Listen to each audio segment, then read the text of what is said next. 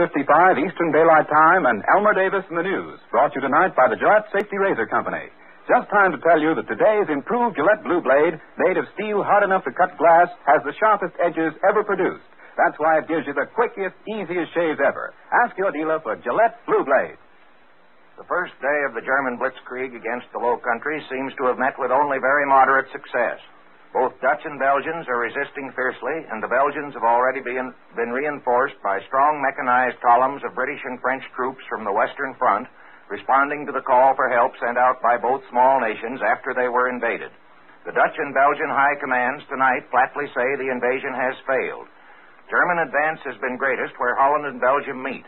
They took the Dutch city of Maastricht, swarmed across the projecting tip of Dutch territory, and say they have taken some bridges on the Albert Canal in northern Belgium. Farther south, they claim to have occupied the town of Malmedy, lost to Belgium by the Treaty of Versailles. Attacks on France and Belgium through Luxembourg have been stopped so far at the frontier. The invasion of the Netherlands seems to have been held at the IJssel River, where the town of Arnhem has resisted German attacks. And many, if not most, of the parachute troops dropped all over Holland before dawn this morning have been mopped up by squads of Dutch machine gunners traveling in fast automobiles. The German claim this morning that the Dutch capital, The Hague, had been captured by troops landed on the beach was not correct. Dutch troops and warships repulsed them. Parachute troops dropped a few miles from Queen Wilhelmina's palace with the apparent intention of seizing the Dutch sovereign were stopped, our correspondent Edwin Hartrich reported in an earlier broadcast, by Dutch soldiers who fought them off in the tulip fields. Around Amsterdam, too, the parachute invaders seem to have been beaten off, but there is still fierce fighting going on in the streets of Rotterdam, the chief Dutch port. The German invasion was preceded by swarms of air raiders who attacked first, following the precedent set in Poland, Dutch and Belgian airfields, and also bombed far and wide over France. More than 20 French cities, ranging from Dunkirk and Calais on the Channel to Lyon in the south, were raided. And while apparently here too airfields or in some cases radio transmitters were the primary objective, the French government said that more than 50 civilians were killed. Raids on Paris and on the mouth of the Thames seem to have been purely for reconnaissance, but incendiary bombs were dropped on a town in southeastern England. A raid on Brussels early this morning burned several apartment houses and killed civilians.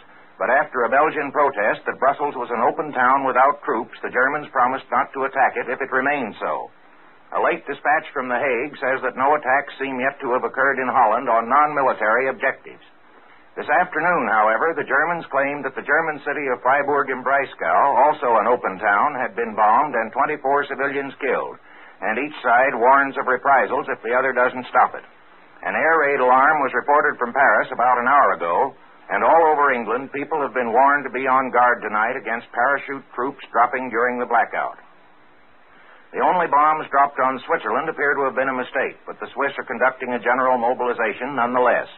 And just before all this began, the British announced that they had occupied Iceland, so far as we know, without protest, to prevent its seizure by Germany. Winston Churchill has replaced Neville Chamberlain as British Prime Minister and will form a coalition cabinet. Its membership has not yet been announced, but Chamberlain will stay in it somewhere. Resigning, Chamberlain said that new and drastic action must be taken to restore confidence the French Premier Reynaud took into his cabinet the prominent extreme conservatives Louis Marin and Jean Ybarnégaray. Italy is still quiet, and a broadcast on the Rome radio this evening says that it was the blockade more than anything else which prompted Germany to carry the war into new regions where little resistance was expected. This is in flat contradiction of the reasons given by the Nazi leaders for the invasion. Ribbentrop's claim that occupation of the Low Countries anticipated by only a day an Allied attack on Germany with Dutch and Belgian consent and Goebbels' argument that the Dutch and Belgian governments had promoted, had plotted a revolution in Germany. And that's the news to this moment. 8.55 Eastern Daylight Time. And Columbia and its affiliated stations bring you Elmer Davis and the news. German land forces today made some small gains, but their advance is not yet very impressive. This is a three dimensional war, however, and their command of the air has enabled them to make plenty of trouble in both Holland and Belgium. Parachute troops were dropped at more than 25 places in the Netherlands today, and Brussels reported that German planes were flying over almost without interruption, distributing parachutists over Belgium.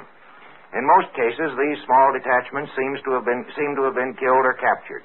But besides the actual damage they do and the interruption of communications, they compel the detachment of a considerable number of troops to deal with them. And in the Netherlands, at least, this diversion is beginning to be a serious danger. Principal centers of the parachute attack today were Rotterdam and The Hague. Swarms of parachute troops were dropped there through the day, and the Germans still hold part of Rotterdam, including the Waalhaven airport. This was heavily bombed again by British planes and apparently is of little use as a landing field. But our correspondent Edwin Hartrich reported earlier that many Germans had got into Rotterdam on merchant ships under the Swedish flag, and hard fighting apparently goes on in the downtown part of the city. The Dutch hold The Hague, but have had to fight not only parachute troops, but Germans in citizens' clothes who have been firing from house windows and this morning made an unsuccessful raid on the police station. Between the plain clothes and the Dutch uniforms used by some of the Germans, it must be hard for the defenders to know just whom to fight. The German radio tonight claims that parachute tro- troops dropped on the Belgian coast have forced their way into the town of Ostend. Nothing has been heard of this from Allied sources. It may be true and maybe not. On land, the Germans have crossed the IJssel River near Arnhem and claim the capture of that town, though the Dutch dispute this. In northeastern Holland, where Dutch plans never contemplated serious defense, the invaders have reached Groningen.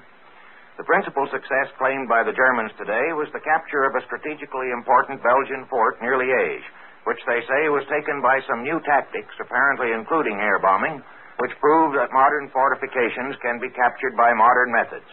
And east of the Moselle, an entire German division made what seems to have been a demonstration rather than an attack on the Maginot Line. The French withdrew from their advanced posts, and against heavy artillery fire, the German attack was not pressed. There were several air raids on Amsterdam with many casualties and bombs dropped on Brussels, which the Germans yesterday promised to let alone. Mostly, however, the air forces on both sides were busy bombing communications. Allied planes raided bridges, railroad junctions, and airfields on the lower Rhine, and the German attacks on many towns in France were chiefly directed against airfields. Both sides, that is, seem to be sticking for the most part to the attack on military objectives, but of course there are civilian casualties. The French reported 148 civilians killed and more than 300 wounded today, and the Germans report several dozen casualties from the lower Rhine towns. Both British and French have denied the German story that the open town of Freiburg was bombed yesterday, but German radio announcers are saying tonight that Germany's patience is exhausted. Apparently, the Dutch, Belgians, and French are expected to go on being patient. And there was news of air fighting in Norway. The British say they bombed a German cruiser off Bergen. The Germans say they hit a British battleship and cruiser off Narvik. Winston Churchill has not yet finished making up his cabinet, but he will be Minister of Defense himself and will be associated in an inner war cabinet with Lord Halifax, the Foreign Minister, and with ex Premier Chamberlain and the labor leaders Attlee and Greenwood, these last three having no departmental duties. Anthony Eden, former Foreign Secretary, is to be Minister of War. A.V. Alexander, Laborite, is head of the Admiralty. And Sir Archibald Sinclair, the Liberal leader, is Air Minister. Hoare, Simon, and Stanley are out. British and French Marines landed today in the Dutch West Indies at the request of the Dutch government to guard the oil refineries there. In Washington, it was said that so long as the Dutch government had requested it, this action involved no violation of the Monroe Doctrine. As for the Dutch East Indies, the Japanese Foreign Minister Arita repeated to diplomats today that it was a vital interest to Japan to preserve the status quo, and Secretary Hull repeated his recent statement that any disturbance there would be prejudicial to the security of the whole Pacific area. The White House reports that comments received on President Roosevelt's speech last night were more than 90% favorable. This is the Columbia Broadcasting System.